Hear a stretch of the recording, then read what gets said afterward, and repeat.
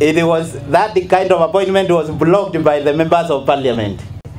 I consider that to be a very wrong uh, president because rather than looking at the gender, rather than considering our selfish, you know, uh, interests, where the person is coming from, we should actually be looking at the me- merit of the person. Is this person capable of delivering that which he or she has been given?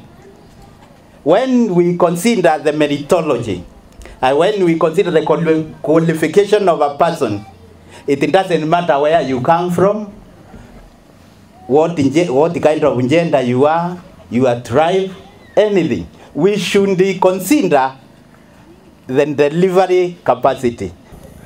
Nataka pia niseme naunga yale bishop eh, presiding bishop amesema kuhusu yule mama anaitwa Njuma. Huyo mama alifanya kazi vizuri kwa ile kiti alikuwa naye.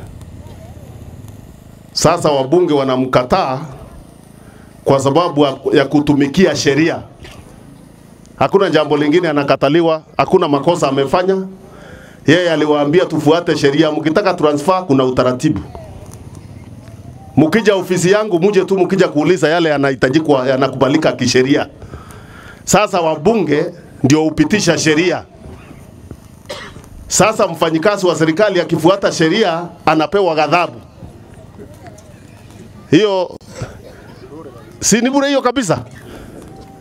Because you are, you are telling her to undermine the law which you pass. And when you undermine the law, you also undermining the authority of parliament because it's parliament that passes the law.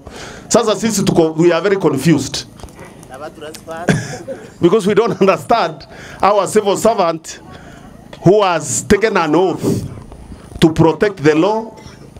When she protects the law, then she is told she is not fit to hold office.